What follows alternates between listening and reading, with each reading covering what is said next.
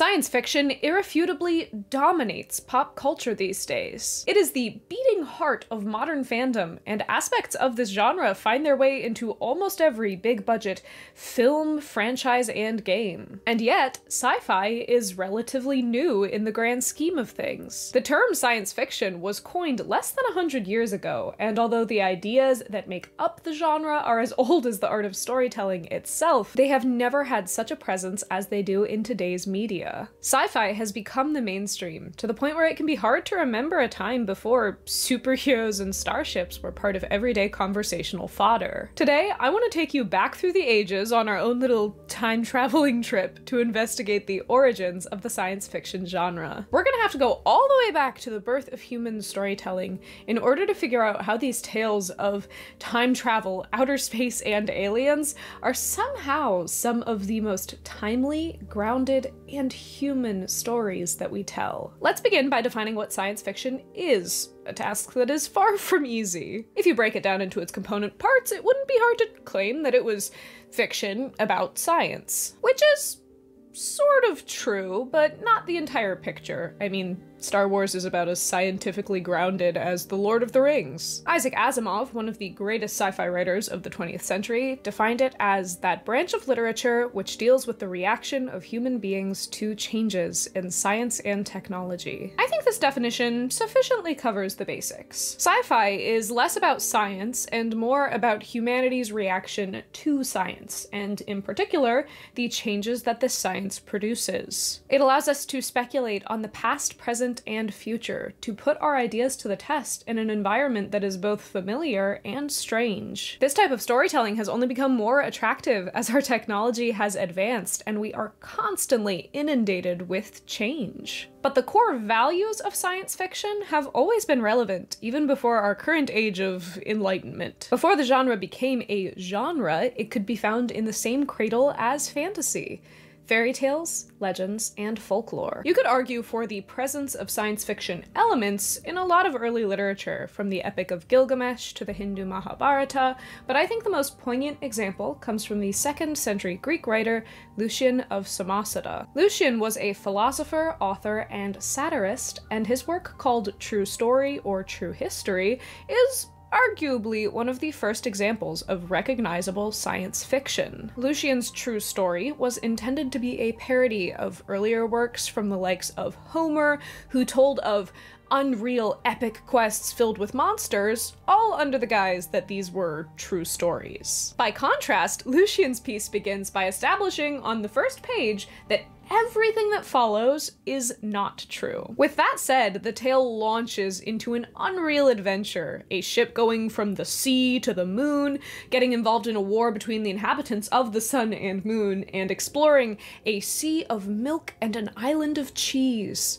Wallace and Gromit would have a field day with that one. Even from that brief description, you probably recognize a few classic sci-fi tropes. The journey to the moon, for example, is an incredibly recurring theme from Edgar Allan Poe to Jules Verne. However, the presence of science fiction tropes alone does not make Lucian's true story a work of science fiction. Certainly back in his day, they didn't even have the term science fiction to define it by. Much in the way that fantasy could not be thought of as a separate genre until rationalization came along and made clear what was real and unreal, can science fiction really exist if science doesn't exist yet? On a surface level, Lucian's true story is as much fantasy as it is sci-fi. And yet, in the same way that I would argue that the Odyssey counts as fantasy from a modern lens because it is using unbelievable and unreal elements to explore real elements of the human experience, I would say that Lucian's true story uses the same toolbox as modern science fiction, even if there's no actual science involved. If modern sci-fi is, as Asimov puts it, dealing with the reaction of human beings to changes in science and technology, Lucian's story does the same thing, simply utilizing the changes in technology of his day. Lucian's true story is almost 2,000 years old, which, you know, from our perspective seems pretty old, but the works that he was parodying are even older than that by hundreds of years. Although science had yet to make leaps and bounds, Lucian society had advanced greatly in matters of philosophy, religion, astronomy, and geology. It is from this advanced perspective that Lucian is able to look back at the old greats and scoff. His true story, from a modern lens, is science fiction because it is grappling with the ways in which human beings and the way that they categorize the world have changed. No longer is a journey to unknown lands with undiscovered creatures a possibility. The rationalism of his day has revealed these ideas to be foolish, and his sharp sense of self reflection and self awareness characterizes much of the best sci fi of today. Looking back on it, it's not hard to see how stories like this, stories that use newly acquired knowledge and wisdom to critique and reflect on the old, would come to heavily influence the genre today. Lucian's true story, with its flashy, untethered journey to the cosmos, would go on to inspire a lot of future works, including the landmark 18th century piece Gulliver's Travels. Written by Jonathan Swift in 1726, Gulliver's Travels is regarded as one of the earliest pseudo sci fi English language novels. Under the guise of the classic adventure story, Gulliver's Travels tells us of the sea captain Lemuel Gulliver on his voyage around the sea, recounting his journey and mishaps. Perhaps the most famous of his misadventures is his stop on the island of Lilliput, which is inhabited by tiny people less than six inches tall called Lilliputians. At one point, Gulliver's journey takes him off the face of the earth entirely to the flying city of Laputa. This is a highly advanced society obsessed with science and progress. Gulliver is taken to a laboratory where he gets to witness firsthand what all of their progress has come to. They've involved themselves in very serious, sciency things, such as trying to mix paint colors based off of smell and in one case, extracting sunshine from vegetables. He had been eight years upon a project for extracting sunbeams out of cucumbers, which were to be put in phials, hermetically sealed, and let out to warm the air in raw, inclement summers. He told me that he did not doubt that in eight years more, he should be able to supply the governor's gardens with sunshine. Jonathan Swift used this supposedly advanced society to lambast the contemporary to him Royal Society of London, a society that was supposed to be dedicated to advancing the natural sciences of the 18th century. It was not an unpopular thought that some of their endeavors were a little bit goofy, especially their attempts to convert sunlight to gas or bottle and sell particular regional airs. By mirroring the Royal Society with the Laputian attempts at progress, Jonathan Swift is showing us that even a beautiful flying city can have really really stupid ideas. This shows off one of sci-fi's most potent abilities, using the unreal or unlikely to make observations about the real world. Swift goes out of his way to make the worlds he builds strange and unfamiliar, which causes us to bypass the fog of experience and see them afresh. And then cognition kicks in. Then, once we've judged them properly, we can realize how similar they are to what we know, and hopefully come to a much more sober reflection on our society. Once again, Gulliver's Travels is not pure science fiction, nor would it have ever been categorized as science fiction in the time that it was written. But from our modern perspective, we can recognize these as tools of the science fiction genre, tools that have been used since novels first started to be written. The moment that science fiction really started to gain its footing was in Mary Shelley's Frankenstein. Frankenstein, or the modern Prometheus, was first published in 1818 by English author Mary Shelley. Shelley was only a teenager at the time of its writing, but Frankenstein tackles some incredibly nuanced and complex issues, such as the responsibility of a creator, life and death, and most importantly for our current conversation, dangers and risks associated with scientific advancement. The tale follows the young Victor Frankenstein, a boy who grew up with a passion for science. He cut his teeth on older alchemists and philosophers such as Paracelsus, Albertus Magnus, and Cornelius Agrippa, and the main appeal of these scientists to Victor Frankenstein was their offers of limitless power. Upon going to university, Victor Frankenstein is initially upset to learn that these scientists, his heroes, have since been quite disproven by modern science, but modern science has its own particular appeal. While alchemists made extreme promises and delivered on very little, modern science promises less, but offers almost limitless possibilities. Frankenstein becomes obsessed with the idea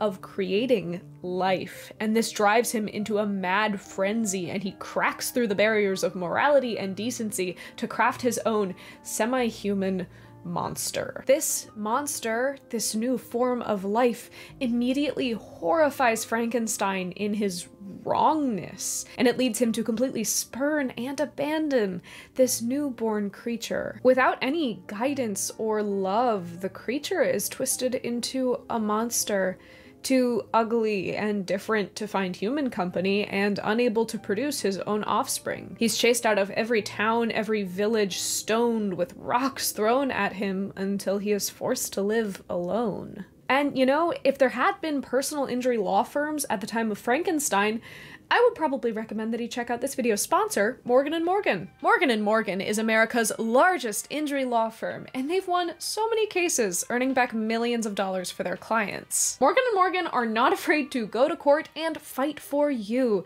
to earn you back the largest possible compensation. They are not going to settle for the lowball offers given by insurance companies. Morgan & Morgan has also made the injury law process so modern and so easy. You can submit a claim and chat with your legal team right from your smartphone smartphone. It only takes a couple of minutes to see if you have a case, and the best part is that the process is entirely free unless you win. You can start a claim with America's largest injury law firm in just a click. It's so easy. You can start your claim now with Morgan & Morgan at forthepeople.com slash Jess of the Shire. Thank you so much to Morgan & Morgan for supporting what I do here, and thanks to all of you for checking out my sponsors.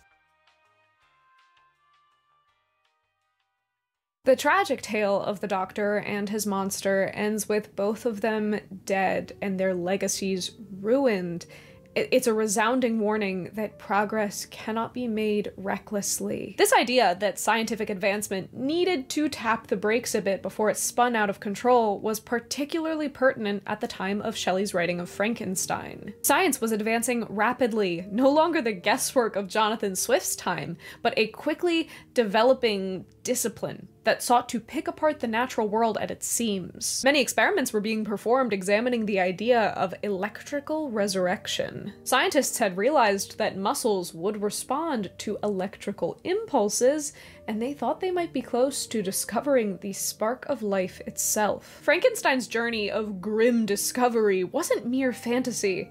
It was something that felt like it could be happening somewhere in a little university town. It was that fear that spurred Shelley into writing this book. She recounts the nightmares that she had the night before she started writing it. I saw the pale student of unhallowed arts kneeling beside the thing he had put together.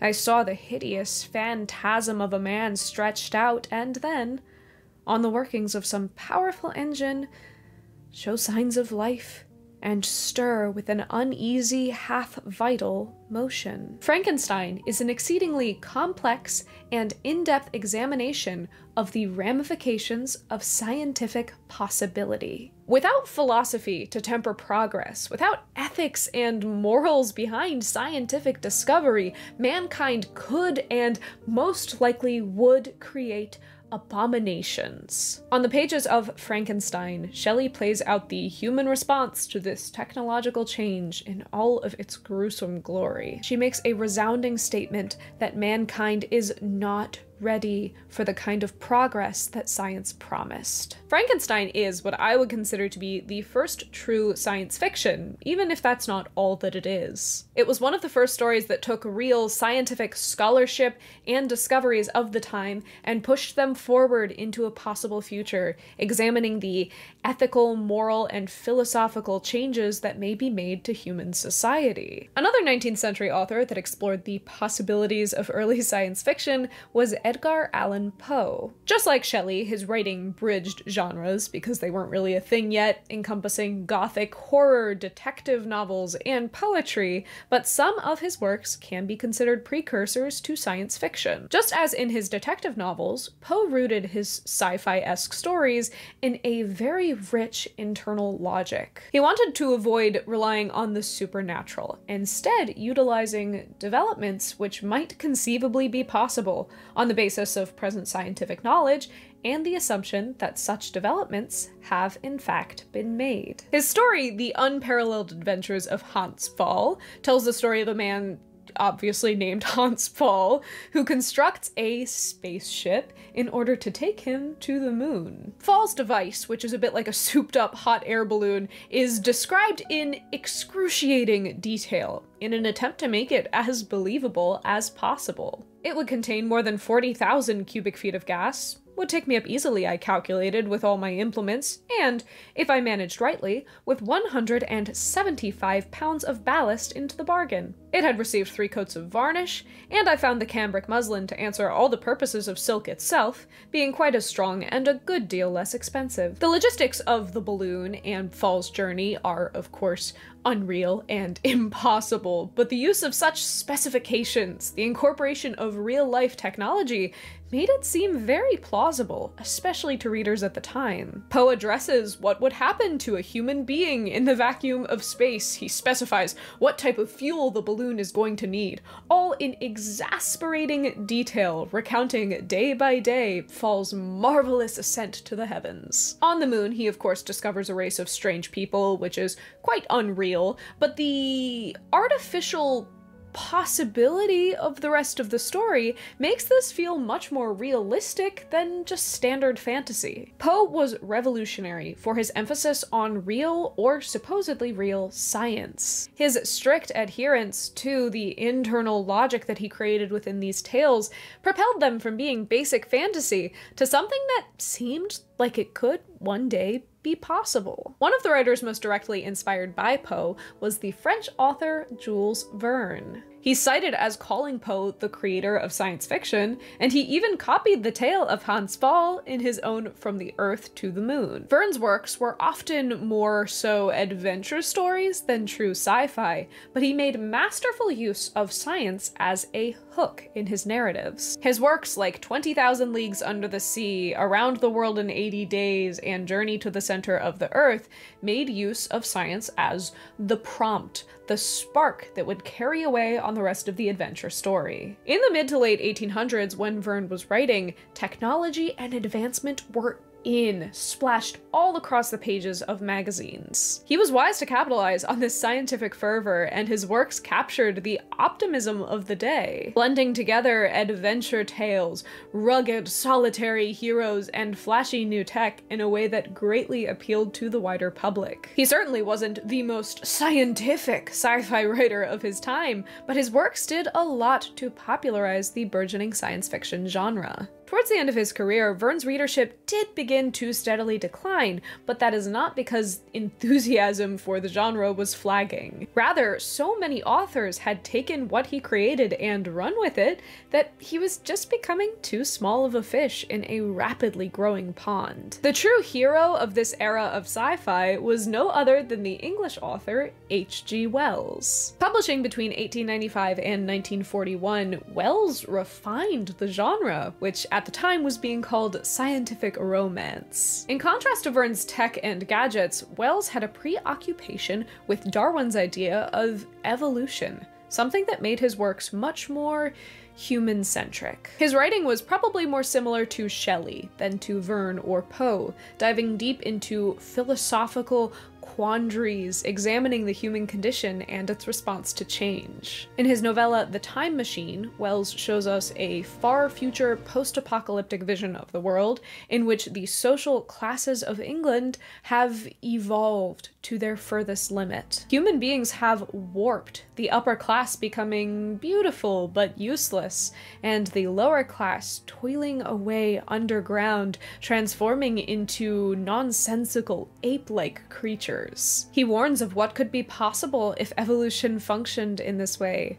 arbitrary societal divisions ruining humanity's future. The Island of Dr. Moreau takes an even more morbid approach telling of a scientist who slices and dices together human animal hybrids. It's a grim look at the propensity of mankind to dominate and manipulate, causing agonizing pain in the name of discovery. The protagonist eventually does escape the island of Dr. Moreau, but he's left haunted by what he has seen. Even fully reintegrated into society, he's left wondering what it is that separates man from beast.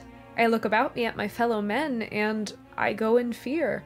I see faces keen and bright, others dull and dangerous, others unsteady, insincere, none that have the calm authority of a reasonable soul. I feel as though the animal was surging up through them, that presently the degradation of the islanders will be played over again on a larger scale. This depth, this focus on the human side of science, characterizes Wells' works and would go on to inform much of the genre as it grew from here. Wells perfected Shelley's use of sci fi, showing that it wasn't just there to uplift and celebrate advancement, but that it could also be used as a dire warning. Wells made startling insinuations about the insignificance of man in the universe.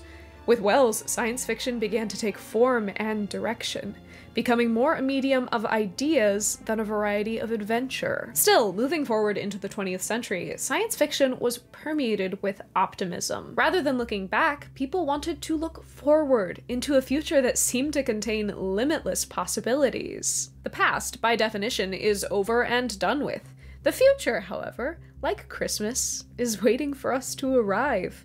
The young know they're going to go there, and so they furnish it with their wishes. Key to this optimism was the idea of escapism. In the very early 20th century, Lost World or Lost Race fiction was rapidly gaining popularity, combining it with the ever intriguing adventure story. Named after the 1912 novel of the same title by Sir Arthur Conan Doyle, Lost World fiction took readers to undiscovered pockets of land, lost cities, and introduced them to yet undiscovered cultures and races. This genre was spurred on by discoveries in geology, archaeology, and paleontology that suggested that there might be a lot hiding right under our noses. Lost World fiction typically had sci fi elements, but in some cases the sci fi was made explicit, as lost cities and continents became new planets and alien races. The escapism and optimism of early 20th century sci fi was shaken by World War I but it was also made all the more necessary. The glossy new worlds that science fiction promised, the thrilling adventures, the fearless, rugged heroes of the future were a much needed respite from the doom and gloom of politics and war. However, this emphasis on flashy world building and tech left other areas of the genre perhaps a bit underwritten. The stories lacked warmth, and author interest was primarily in the gadget, the overwhelming majority of science fiction stories in this period were merely orthodox adventure tales with the trappings of interplanetary travel or prophecy, written on an adolescent level. But as the 20th century and its technology advanced, the page was not the only place where science fiction was able to flourish. Even when film was still black and white and silent, filmmakers saw the potential of sci fi on screen. In the 1902 silent film La Voyage dans la Lune, which translates to a trip to the moon, and I probably just should have said that instead of subjecting you to my attempts to pronounce French. But it tells a classic sci fi story using, albeit rudimentary but very cool special effects, to tell the tale of a spaceship that is shot at the moon. In 1910, the classic sci fi story Frankenstein also found its way to the silver screen, using fairly advanced special effects to show a monster rising from a cauldron. The new tech of filmmaking seemed to mesh beautifully with some of the most exciting aspects of science fiction the ability to see something from the future today. From its very conception, people saw the potential for science fiction and film, and it's not surprising that this is where some of the most exciting science fiction stories have found their home in the 20th and 21st century. However, film was not the only medium for 20th century sci-fi. It found its true home in pulp magazines, where short stories or cut up portions of longer stories were able to fly out to readers at unprecedented rates. The first of these magazines to be dedicated entirely to sci fi was Hugo Gernsback's Amazing Stories. And Gernsback himself was a bit of a Renaissance man, a Jules Verne style hero, if you will. Having fostered a fascination for all things technical from a very young age, at only 20 years old, he moved alone from Germany to New Jersey, hoping to sell his design for a portable radio telegraph transmitter. Gernsback was able to obtain a copyright for his machine in 1904 and sold the design, kickstarting his career in early 1900s tech. He passed his time inventing and tinkering, often writing for electrical magazines, educating others on how to put together their own electrical contraptions. In 1908, Gernsback started his own magazine for electrical electrical experimenters, which he called Modern Electrics. The magazine was a success, but by 1911, Gernsback found himself needing to fill some page space. His audience had always seemed to appreciate columns in which he hypothesized on the future of tech,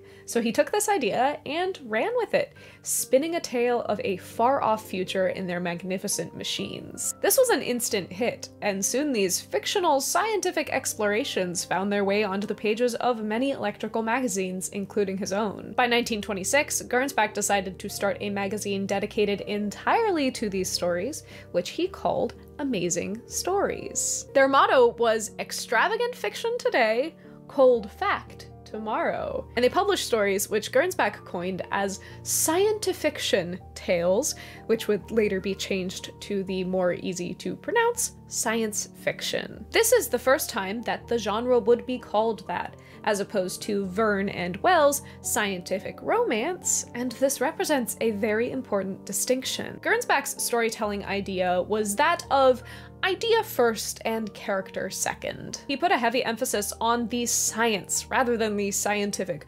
romance, spinning tales that contained strange tech, superheroes, and even some early space operas. It was all about the gadget, the brave heroes, rather than the wider implications upon the human race. He captured the lightning in a bottle, optimistic sci fi of the early 20th century, birthing the modern genre's name and some of its most familiar tropes. However revolutionary he was, though, Gernsback was far from perfect. Despite being a writer himself, he paid his writers just abysmally and would often wait as long as possible to pay them back, if he paid them back at all. He was a businessman, and it seems that he was ready to treat this emerging genre as, first and foremost, a business venture. This is unfortunately a bit of a running theme. Some people do propose that this early difficulty for sci fi authors to make a living may have helped them acting as a kind of crucible, making sure that only the people who really loved writing science fiction for the sake of itself were able to make the cut. Just as laboratory rats, who are never fed to satiety, tend to live longer, albeit hungrier lives, so science fiction writers, unheeded beyond the ghetto walls, are often uncommonly productive. Gernsback was so highly revered for his influence on the genre that his name was put on the Hugo Awards, which recognize new and exciting science fiction and fantasy and are still being awarded today, albeit somewhat controversially. However, Amazing Stories was far from the only pulp sci fi on the market, and one of its main competitors was the very similarly named Astounding Stories. And just as Gernsback and his taste shaped amazing stories, one man looms large at the heart of Astounding Stories John W. Campbell. Campbell had grown up on a steady diet of early 20th century sci fi, and he even wrote some of his own space operas, including the novella that would become the 1982 film the Thing. His writing was not destined to be his primary legacy, though, as he landed an editing job at Astounding Stories. Campbell quickly rose to prominence, known not only for scouting some of the most prominent authors of mid century science fiction, but for shaping their works as well. He was the top dog the gatekeeper, the decider of what worked in science fiction in this very influential era, and some of his whims and tastes can still be seen in modern science fiction. He guided the genre away from tech obsessed, rather shallow stories and into something a little bit closer to Wells' acute social commentary. Campbell had wanted to be an inventor or a scientist, and when he found himself working as an editor instead, he redefined pulps as a laboratory for ideas improving the writing, developing talent, and handing out entire plots for stories. He turned science fiction from a literature of escapism into a machine for generating analogies. Campbell is credited with discovering a lot of 20th century sci fi names, including Isaac Asimov, publishing his incredibly influential Foundations series first on the pages of Astounding. He also became quite close to Robert A. Heinlein, launching his incredibly prolific science fiction career. His most dubious claim to fame is likely his relationship with L. Ron Hubbard, the science fiction author turned founder of the Scientology religion cult. Hubbard was already a successful pulp writer before he and Campbell met, but once they started working together, they formed a very deep friendship. Campbell was an avid supporter of Hubbard's Dianetics, the modern science of mental health. Dianetics is now considered a religious text of Scientology, and it preaches a new, more scientific tactic towards mental health, which fails to be backed up by any actual medical research. Still, this pseudoscience deeply appealed to Campbell and many other sci fi fans who hoped that mental health science could be boiled down to a precise method, as it could in so many of their sci fi fables. As Hubbard broke off to form his Scientology religion, their friendship did come to an end, but Campbell was always envious of what Hubbard had been capable of. He saw what Hubbard had done, creating a religion, gathering a group of people who worshipped the ground he walked on, as something ripped right out of the pages of astounding stories. One of Campbell's most prized storytelling tropes was that of the Superman or the superhuman, a singular hero who could step in and save the day entirely by virtue of being super. This idea infuses many of the works that he had influence over, meaning it is an inevitable part of the backbone of the golden age of science fiction. However, as perhaps could be gathered from the fact that he envied the founder of Scientology, Campbell was far from a perfect person. It is worth noting at this point in the video that that could be said of a fair few of the authors that I have mentioned thus far. H.G. Wells for example, was like super into eugenics, but unfortunately, I don't have the time to address all of that in this video. So, you know, do your research before you like set up a shrine to any of these authors or anybody in general. Uh, don't worship writers or celebrities past, present, or future. That's um that's weird. For Campbell, though, his proclivities, both good and bad, are exceedingly relevant because his taste shaped the golden era of science fiction. His anti Semitic views, his sexist and racist tendencies are ingrained into many of Astounding's most popular and influential stories, and that is something that modern sci fi authors are still trying to rectify today. His views were so polarizing that authors like Heinlein, who found their career in Campbell, would go on to disavow him entirely, and the wave of fiction that followed this, new wave sci fi, is in essence, an attempt to get away from this Campbellian fiction. Still, during this period from about the 30s to the 50s, science fiction blossomed. The 30s to the 50s is obviously a very wide range, but there is some debate on what exactly was the golden age of science fiction, and it kind of flourished through this whole period in very different ways. And the genre had changed majorly in this time. The sci-fi shaped by Astounding and other pulps of the 50s had moved away from the hyper optimistic, tech obsessed of the early 20th century and into a more introspective, reflective, and psychological approach. Writers refined their plots and characters while emphasizing human relationships, and were encouraged by Campbell to tap psychology, philosophy, politics, and other soft sciences and areas of specialization. While pre war science fiction had concentrated on the technical wonders suggested by scientific advances, Writers in the post World War II period began to examine the human consequences of these advances and the fear that we might become the victims of our own creations. Even in adventure stories, wandering off to distant lands and alien creatures, authors made efforts to ground their stories and to humanize both human and non human characters. They no longer wanted to look at the future and technology as something strange and alien. They wanted to grapple with the ethical and moral implications of a future that seemed to be getting closer day by day. The 1950s saw the first satellites making it into space, the beginning of the end of segregation, the rise of the atomic age. The future was more near than ever, more possible than ever. Dystopias found their foothold in this golden era of science fiction, works like Fahrenheit 451 and A Clockwork Orange exploring the possibilities of grim futures. Works like Frank Herbert's Dune and other revolutionary new wave science fiction was on the horizon, ready to turn the whole genre on its head. The balance that Campbell had struck between hard and soft sci-fi seemed to set the genre alight, ripe for critique from both fans and scholars, and it was becoming increasingly clear that sci-fi was not a passing fad. Pulps had turned to hardcover books, rabid fans had turned into esteemed scholars, and a genre that was once fringe and strange, barely touched upon by established authors, was becoming the new mythos of the atomic age. And I think the reason for this is evident. We need sci fi, especially the kind of sci fi that was coming out in the later part of the Golden Age,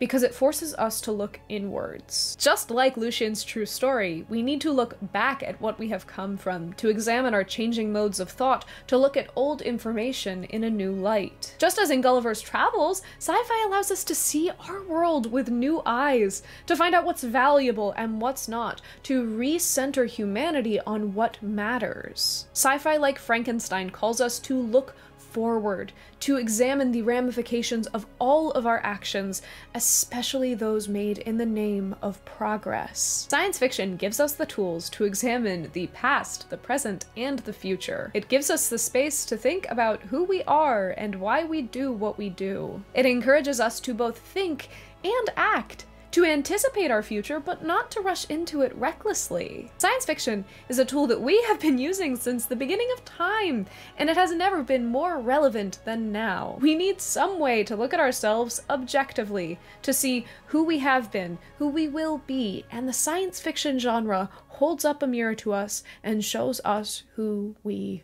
are. This video is I will admit, far from comprehensive, but frankly, if I try and cram anything more into this, I won't get it out on time, so uh, please let me know in the comments who I missed. It's funny, because with fantasy, we can look back from our perspective and say that someone like Tolkien is the father of the modern fantasy genre. People will debate that point, of course, but that's a conversation for another video. But I'm not sure that figure exists for sci-fi. We were discussing this on my Discord, which is available through my Patreon, and the link is in the description, but we weren't able to come to any solid conclusions. So let me know in the comments who you would call the parent of the sci-fi genre, if there is any, and if you can't think of one or you don't think there is one, I would love to hear why. For those of you that have been asking, the Dune video is on its way, of course, I promise. That is why I made this video as a primer for that. But if you don't want to miss my Dune video, please do subscribe. Like this video if you enjoyed it, and thank you so much for tuning in this week. This video was a beast to create and quite frankly a bit out of my comfort zone, but I had a lot of fun putting it together. Thank you so much for watching, and I hope that you have a very happy, hobbity day.